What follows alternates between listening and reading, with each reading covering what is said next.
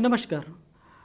आज हम कक्षा बारह के प्रथम अध्याय, मनोवैज्ञानिक गुणों में विभिन्नताओं से संबंधित दूसरे भाग पर चर्चा करने वाले हैं, जो कि केंद्रित होगा बुद्धि में व्यक्तिक भिन्नताएँ एवं बुद्धि परीक्षण। पिछले भाग में हमने बुद्धि के सिद्धांतों को समझने का प्रयास किया था। तो शुरुआत करते हैं बुद्धि में व्यक्तिक भिन्नताएँ और बुद्धि परीक्षण। हम अपने चारों तरफ़ नज़र डालें तो पाएँगे कि हमारे मित्रों, सहकर्मियों, परिवार के सदस्यों, रिश्तेदारों आदि का बौद्धिक स्तर अलग अलग है। यहाँ तक कि एक परिवार में पले बढ़े दो बच्चों के बौद्धिक स्तर में विभिन्नताएँ देखने मिलती हैं। ऐसे में प्रश्न आते हैं कि इन व्यक्तिगत विभिन्नताओं का कारण क्या है? व्यक्तिक विभिन्नताओं का स्वरूप क्या है और विचलन का स्तर कितना है?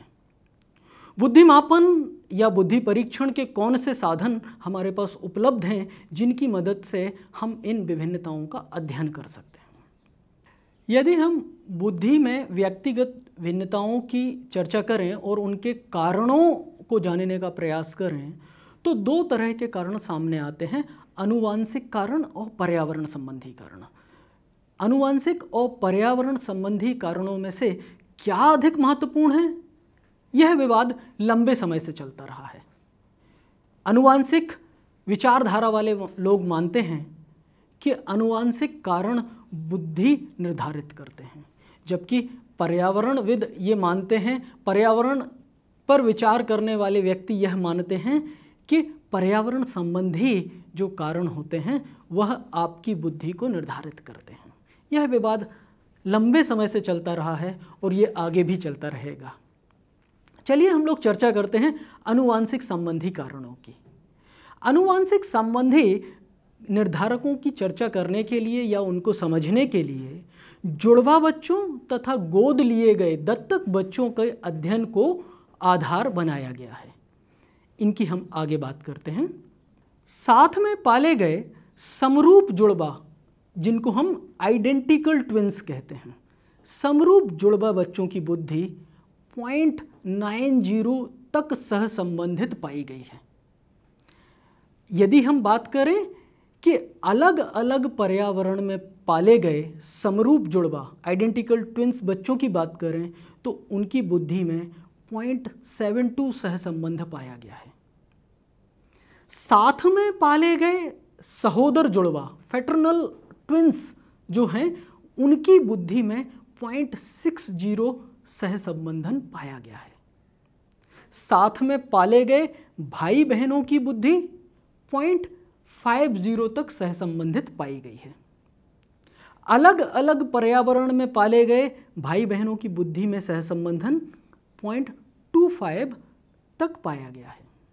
तो इन आंकड़ों में हमने देखा कि जहाँ पर आइडेंटिकल ट्विंस में जेनेटिक मटेरियल अनुवांशिक सामग्री लगभग एक जैसी है, वहाँ पर उनकी बुद्धि में सहसंबंधन पॉइंट नाइन ज़ीरो है। उनकी बुद्धि लगभग लगभग एक जैसी है। और जैसे जैसे जेनेटिक मटेरियल की समानता घटती गई आइडेंटिकल ट्विंस से हम फेटरनल ट्विंस पे आए, फिर उसके बाद भाई बहन के स्तर पर आए और भाई बहन साथ में पाले गए या अलग अलग ढंग से पाले गए भाई बहनों के बुद्धि को जब हमने गणना किया तो यह पॉइंट टू फाइव है। तो अधिक से कम की ओर यह संबंध हमें प्राप्त हुआ। तो यहाँ से हमें पर्यावरण संबंधी कारकों का इशारा मिलता है। इस पर्यावरण संबंधी कारकों को आगे अध्ययन किया गया गोद लिए गए बच्चों पर।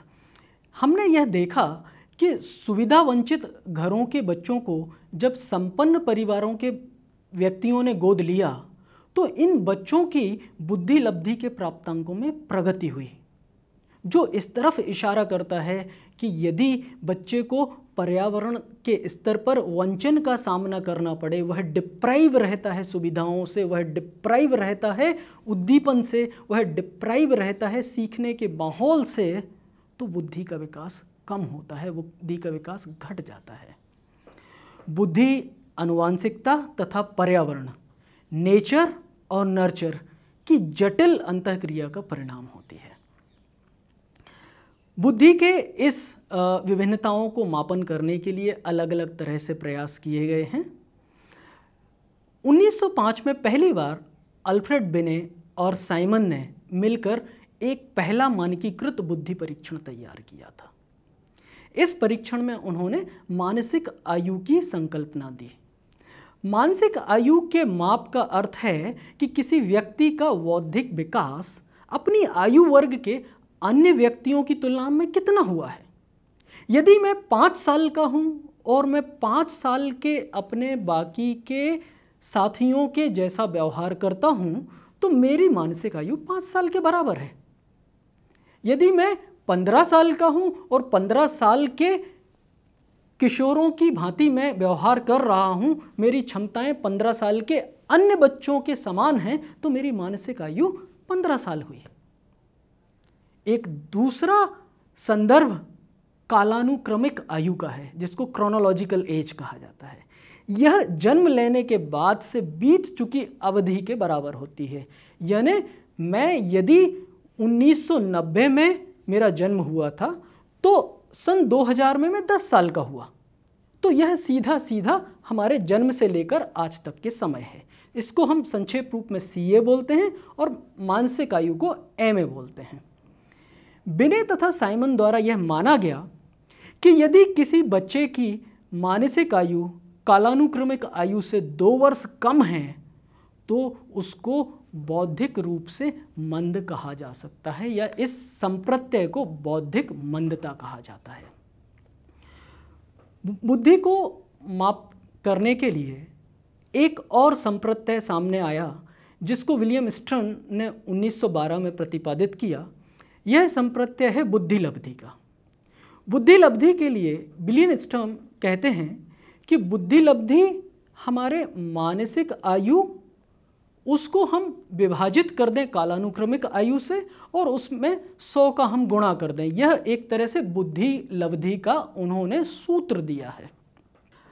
तो इस तरह से बुद्धि लब्धि के सूत्र के द्वारा हम अलग अलग व्यक्तियों का बुद्धिमापन कर सकते हैं और उनकी बुद्धि लब्धि ज्ञात कर सकते हैं। यदि हम देखें कि यह बुद्धि लब्धि समाज में किस तरह से वितरित है तो सांख्यिकी का एक मॉडल है जिसमें हम ये कहते हैं कि बुद्धि सामान्य रूप से वितरित होती है। यदि आप अपने स्क्रीन पर देखें तो सामान्य संभाव्यता वक्र को यहाँ पर प्रदर्शित किया गया है। आप देखें तो x अक्ष पर नीचे की तरफ़ बुद्धि बढ़ते क्रम में दिखाई गई है। ज़ीरो से लेकर आगे 120, 140, 150 तक बुद्धि आगे बढ़ रही है। यदि हम वाई अक्ष पर देखें तो यह समाज में व्यक्तियों की संख्या बढ़ रही है। हम देखेंगे कि औसत बुद्धि, जो कि हम इस चित्र में सौ मान के चल रहे हैं, सौ व्यक्ति बुद्धि वाले व्यक्ति समाज में सबसे ज़्यादा हैं। सौ से थोड़ा सा कम, दस अंक कम कर लीजिए, या फिर सौ से दस अंक ऊपर, इनकी संख्या थोड़ी सी समाज में घट जाती है। दस अंक और नीचे चले जाते हैं या पंद्रह अंक और नीचे चले जाते हैं तो समाज में जिस तरह से यह बुद्धि की संख्या को हम कम करते जाएँगे तो उन व्यक्तियों का प्रतिशत समाज में कम होता जाएगा। और यदि इसी तरह से बुद्धि का संख्या हम आगे बढ़ाते जाएँ आईक्यू आगे बढ़ाते जाएँ बुद्धि लब्धि आगे बढ़ाते जाएँ तो ऐसे व्यक्ति भी समाज में कम हैं। सबसे ज़्यादा प्रतिभाशील, बहुत अच्छे बुद्धि वाले व्यक्ति समाज में कम हैं, लगभग दो प्रतिशत के लगभग हैं। और ऐसे जिनकी बुद्धि लब्धि सत्तर से कम है, ऐसे व्यक्ति भी समाज में दो प्रतिशत से कम हैं। तो इस चित्र के माध्यम से आपने इस चीज़ को, इस संप्रत्यय को समझने का प्रयास किया। इस चित्र में हमने देखा है कि हमने मध्यमान 100 से लेकर 10 कम या दस ज़्यादा करते हुए इस वक्र को हमने बनाया है। यह चित्र जो है, यह एन e की पाठ्यपुस्तक से लिया गया है। कुछ अन्य पुस्तकों में यदि आप देखेंगे तो 100 से 15 के विचलन पर हमने आगे बढ़ाया है या 15 घटा घटा कर हमने इस वक्र को तैयार किया है। तो इस वक्र के दोनों ही छोरों पर हमने यह देखा है कि कुछ इस तरह की स्थितियाँ हैं जिनको हम विचलन स्थिति बोल सकते हैं। ये डेविएंट हैं, ये अलग हैं, ये कुछ खास हैं। यदि हम कम बुद्धि लब्धि की तरफ़ बात करें तो इस तरह के विचलन को हम लोग बौद्धिक अक्षमता के रूप में जानते हैं, या इस टर्म को इंटेलेक्चुअल डिसेबिलिटी या बौद्धिक अक्षमता कहा गया है। जबकि मध्यमान से अधिक की ओर 130 से ऊपर आईक्यू या बुद्धि लब्धि वाले व्यक्तियों को हम लोग इंटेलेक्चुअली गिफ्टेड बौद्धिक रूप से प्रतिभाशाली व्यक्ति कहते हैं। बौद्धिक अशक्तता इंटेलेक्चुअल डिसेबिलिटी के स्वरूप को हम समझते हैं। सबसे पहले, इसके अंतर्गत एक पहली शर्त है कि किसी भी व्यक्ति को जब तक हम बौद्धिक रूप से अक्षम व्यक्ति नहीं कह सकते हैं, जब तक कि उसका आई क्यू सत्तर से कम ना हो, उसकी बुद्धि लब्धि सत्तर से कम ना हो। साथ ही उसके अनुकूलन व्यवहार में न्यूनता या सीमितता देखने में मिलती है। अनुकूलन व्यवहार से तात्पर्य है, ऐसे व्यवहार जो हमारे दैनिक क्रियाकलापों में हमें सहयोगी होते हैं, जैसे कि हमारा सुबह के नित्य क्रियाकर्म, हमारे कपड़े पहनने के कौशल, हमें अपने आप को तैयार करने के कौशल ग्रूमिंग स्किल जिनको कहा जाता है, या फिर समुदाय में उपलब्ध संसाधनों का उपयोग करना। इस तरह की कुशलताएँ हमारे अनुकूलन व्यवहार का हिस्सा कहलाती हैं। तो पहली शर्त है बुद्धि लब्धि सत्तर से कम होनी चाहिए। दूसरी शर्त है अनुकूलन व्यवहार सीमित होना चाहिए। और तीसरी शर्त है कि ये दोनों लक्षण विकास, विकासात्मक अवधि में परिलक्षित हो जाने चाहिए। विकासात्मक अवधि से तात्पर्य है जन्म से लेकर 18 साल की उम्र तक यदि ये दो लक्षण सामने आ जाते हैं, तब हम किसी व्यक्ति को बौद्धिक असत्यता या इंटेलेक्चुअल डिसेबिलिटी वाला व्यक्ति बोल सकते हैं। चलिए अब हम बात करते हैं बौद्धिक अशक्तता के विभिन्न वर्गों की। बुद्धि लब्धि के आधार पर हम चार मुख्य रूप से इनको विभाजित कर सकते हैं। बौद्धिक अक्षमता का पहला प्रकार है अति अल्प बौद्धिक अक्षमता माइल्ड इंटेलेक्चुअल डिसेबिलिटी इस तरह की बौद्धिक अक्षमता में व्यक्ति या बच्चे का आईक्यू या बुद्धि लब्धि पचपन से लेके उनहत्तर के बीच में होती है 55 टू 69 अगले तरह का प्रकार है अल्प बौद्धिक अशक्तता moderate intellectual disability moderate intellectual disability में आईक्यू 35 से 40 से शुरुआत होकर 50 से 55 तक संभव हो सकता है। तीसरे तरह की बौद्धिक अक्षमता है सीवियर इंटेलेक्चुअल डिसेबिलिटी गंभीर बौद्धिक अक्षमता। इसमें आईक्यू 20 से 25 से शुरुआत होकर 35 से 40 तक संभव है। चौथे तरह की बौद्धिक अशक्तता है प्रोफाउंड इंटेलेक्चुअल डिसेबिलिटी अति गंभीर बौद्धिक अशक्तता। इस स्थिति में बच्चे की बुद्धि लब्धि 20-25 से भी कम होती है। यदि हम देखें तो अति अल्प से लेकर अति गंभीर तक बुद्धि लब्धि क्रमशः कम हो रही है। सत्तर से लेकर हम बीस तक पहुँच गए हैं चार अलग अलग वर्गों में। अब हम लोग बात करते हैं बौद्धिक प्रतिभाशीलता की। एक तरफ़ बौद्धिक अक्षमता जहाँ पर बुद्धि लब्धि सत्तर से कम है, दूसरी तरफ़ बौद्धिक प्रतिभाशालिता, जहाँ पर बुद्धि लब्धि 130 से अधिक है। टर्मन ने 1925 में अधिक बुद्धि लब्धि वाले 1500 बच्चे, ध्यान रखिएगा, उन्होंने 130 से अधिक बुद्धि लब्धि वाले 1500 बच्चों का अध्ययन प्रारंभ किया था। और इसके बाद कई तरह के अध्ययन हुए और मनोवैज्ञानिकों ने यह माना कि प्रतिभाशालिता बच्चे की उच्च योग्यता हाई एबिलिटी उच्च सृजनशीलता हाई क्रिएटिविटी उच्च प्रतिबद्धता हाई कमिटमेंट जैसे गुणों के संयोजन पर निर्भर करती है। प्रतिभाशाली व्यक्ति जो होता है, उसके बचपन से ही कुछ लक्षण परिलक्षित होने लगते हैं। शैशवकालीन कुछ लक्षणों को हम चर्चा करते हैं। पहला लक्षण है अवधान विस्तृति। इन बच्चों को आप देखेंगे तो उनके अवधान में विस्तृति का गुण आप पाएँगे। इनका अटेंशन स्पान अधिक होता है। अटेंशन स्पान अधिक होने का मतलब है कि व्यक्ति एक समय में ज़्यादा सूचनाओं पर ध्यान दे सकता है। यदि हम स्क्रीन पर एक बार में पंद्रह अंक प्रस्तुत करते हैं तो आप कितने अंकों को एक सेकंड देखकर याद रख पाएँगे? तीन अंक, चार अंक या पाँच अंक? जो व्यक्ति जितने ज़्यादा अंकों को याद रख पाएगा, हम ये बोलेंगे कि उसका अवधान की विस्तृति ज़्यादा है, उसका अटेंशन स्पान ज़्यादा है। तो इन बच्चों का अटेंशन स्पान बचपन से ही ज़्यादा दिखता है। दूसरे तरह की विशेषता इन बच्चों में दिखाई देती है कि इनकी प्रतिविज्ञान स्मृति अधिक होती है, अच्छी होती है रिकॉग्निशन मेमोरी अच्छी होती है। एक किसी वस्तु को देखकर वह दोबारा बड़ी आसानी से पहचान पाते हैं।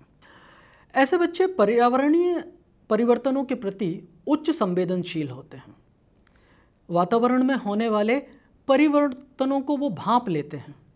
कमरे के अंदर जो तापमान है, उसके स्तर में परिवर्तन होना या कमरे के अंदर प्रकाश के स्तर में परिवर्तन होना या शोर के स्तर में जो परिवर्तन होना उस तरह के परिवर्तनों के प्रति ये संवेदनशील होते हैं। अगले तरह का लक्षण होता है, भाषा कौशल इनका शीघ्र प्रकट होता है। आम बच्चों की तुलना में यह जल्दी पहला शब्द बोलना या जल्दी से शब्दों को जोड़ना या जल्दी से वाक्य बनाना सीख लेते हैं, वाक्यों को बोलना सीख लेते हैं। अगला लक्षण होता है इनका, कक्षा में इनका अकादमिक निष्पादन उच्च स्तर का होता है। प्रतिभाशाली व्यक्ति को हम पहचाने कैसे? क्योंकि जब हम किसी से बात करते हैं तो वो यह कह सकता है कि मैं भी प्रतिभाशाली हूँ। या हम किसी अभिभावक से बात करें तो अभिभावक बोल सकता है कि मेरा बच्चा तो प्रतिभाशाली है, मेरा बच्चा तो गिफ्टेड है, बहुत इंटेलेक्चुअली हाई है। सही मायनों में हम किसे कहेंगे? क्या हम बुद्धि परीक्षण के द्वारा कह सकते हैं? तो वैज्ञानिक और मनोवैज्ञानिक ये कहते हैं कि सिर्फ़ बुद्धि परीक्षण के आधार पर नहीं बोलना चाहिए। बुद्धि परीक्षण एक स्रोत हो सकता है सूचना का। हमें अन्य स्रोतों की ओर भी ध्यान देना चाहिए। जैसे कि अध्यापक द्वारा दिए गए निर्णय, अध्यापक द्वारा किया गया प्रेक्षण। अब अध्यापक से भी हमें मत लेना चाहिए। विद्यालय के उपलब्धि अभिलेख जो हैं, उनका भी हमें जाँच करके उनकी तुलना करनी चाहिए। बच्चों के माता पिता से लिया गया साक्षात्कार, कक्षा के अन्य बच्चों या फिर समकक्षियों के द्वारा उस व्यक्ति के बारे में जो निर्णय है, उसके आधार पर इस तरह से बहुआयामी सूचना संग्रह करके हम यह निर्णय लेते हैं कि व्यक्ति प्रतिभाशाली है या नहीं है। चलिए अब हम बात करते हैं कि इन बुद्धि परीक्षणों को हम कैसे करेंगे और बुद्धि परीक्षण किस तरह के हैं, कितने तरह के हैं? मुख्य रूप से बुद्धि परीक्षणों को कुछ भागों में कुछ आधार पर वर्गीकृत किया गया है। जैसे वैयक्तिक बुद्धि परीक्षण या फिर समूह बुद्धि परीक्षण।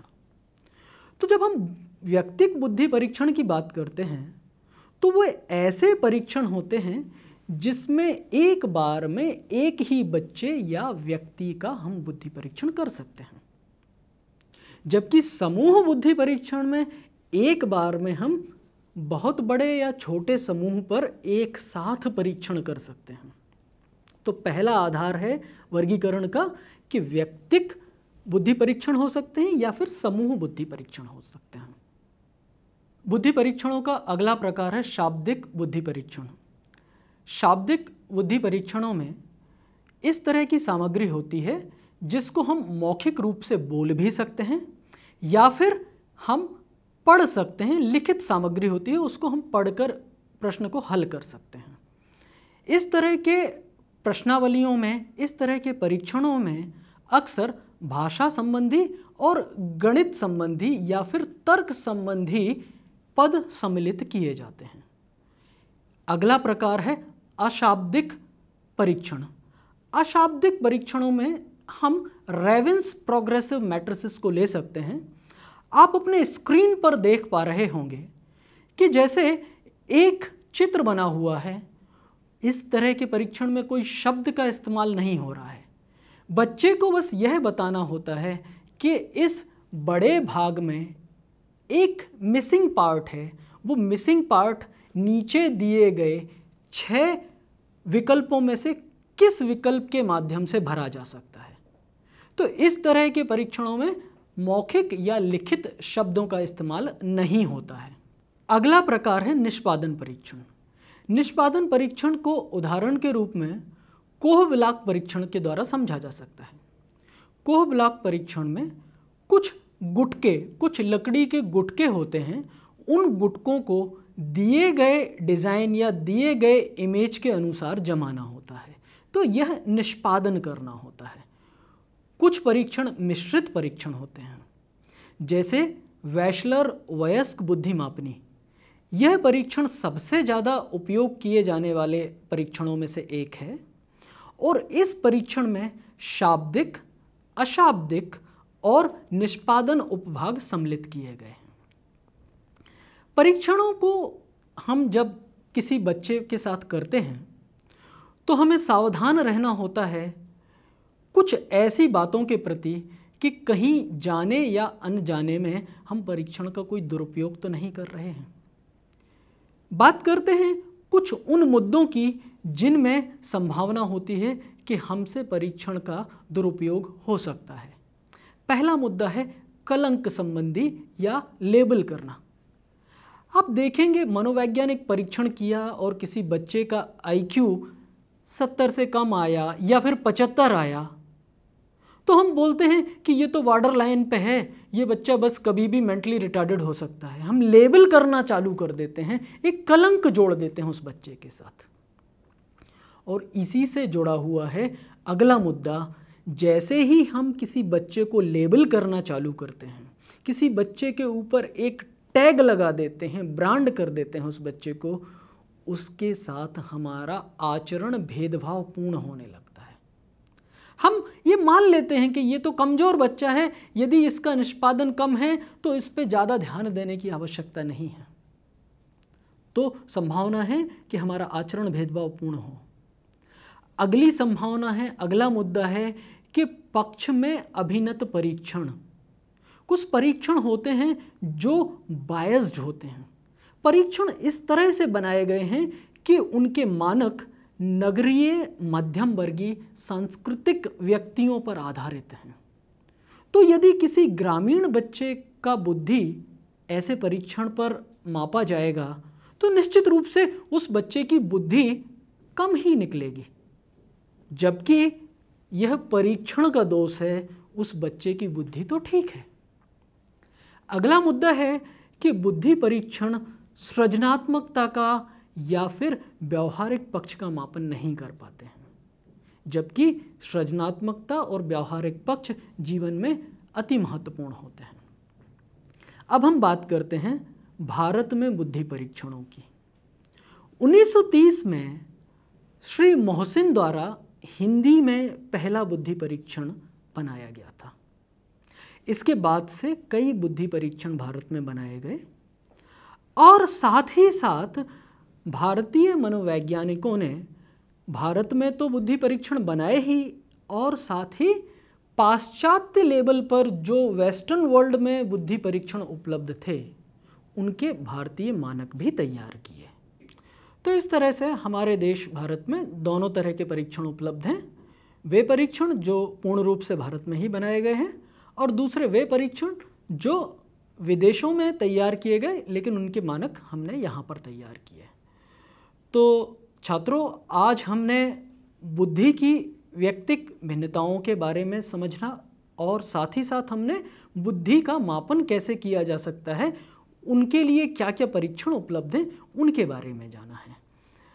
अगले भाग में हम लोग सांस्कृतिक बुद्धि और विशेष क्षमताओं के बारे में चर्चा करेंगे। नमस्कार।